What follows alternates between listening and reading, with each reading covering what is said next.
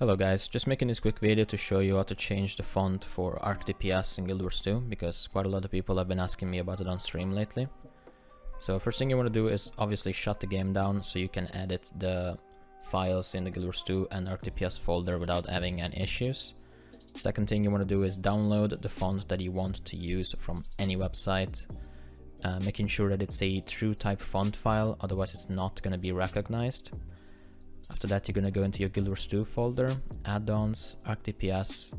You are going to drag the font you want to use into the folder and you're gonna rename it to ArcDPS underscore font.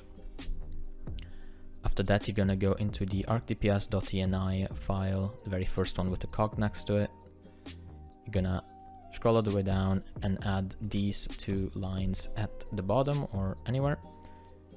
This will also allow you to change the font size in the game. I'm using 12 right now. If once you start the game and you want it a little bit bigger, you can go 13, 14, or you can go lower.